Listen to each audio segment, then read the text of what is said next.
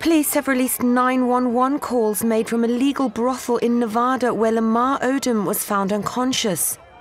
The ex NBA star is still fighting for his life in hospital after he was found unresponsive in the Love Ranch near Las Vegas. Officers say the professional basketball player may have taken cocaine and sexual performance supplements. 911, where's your emergency? Um, I'm at the Love Ranch at 300 Appaloosa Lane. I just called and they said they were going to send somebody out, but I just wanted to let them know that they need to hurry, please, because he's got uh, blood coming out of his nose, white stuff coming out of his mouth. They can't get him to wake up. He's like not, almost not breathing. Okay, is he conscious? Excuse me? Is he conscious? No. And he has white stuff coming out of his mouth? And blood coming out of his nose?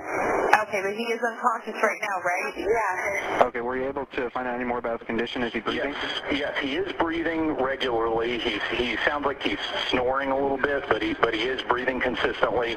He's got a little bit of fluid coming from his nose and his mouth. It's got a red coloring to it. I wouldn't say it's deep red like blood. It's more of kind of a kind of a pinkish color. And that's coming out of both his mouth and his nose? Yes, I specifically saw it come out of his nose. I can't say for sure I saw it come out of his mouth, but he's kind of breathing with his mouth open a little bit. He's over on his side, uh, snoring, but but breathing regularly, and he's made a few sounds. I'm trying to speak to him, and he's, you know, I'm kind of hearing like a, a couple of, I don't know, whimper is the right word or something like that. Okay, but, he, but, but he's still unconscious? yeah, well, he's in a deep sleep for sure. Yeah. Okay, now they just add this to it. They just told me that uh, somebody just came up to me and said that he apparently had some cocaine on him that has he finished on. He did, he did this on Saturday. He's been he's been alert and let me ask a question, guys. He's been since that happened on Saturday. He's been awake, alert, conscious. Yeah. Okay. So so since since then, what I just told you, he's been up, alert, conscious, and all that. So uh, one hopefully didn't have anything to do with the other there. So uh, as far as you know, the there was no cocaine since Saturday? That is correct. Since Saturday, yes. No, no, since the, the cocaine, not since Saturday.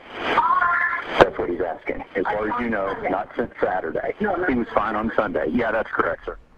The sports star was found by staff at Dennis Hof's Love Ranch after an alleged three day booze and drugs bender.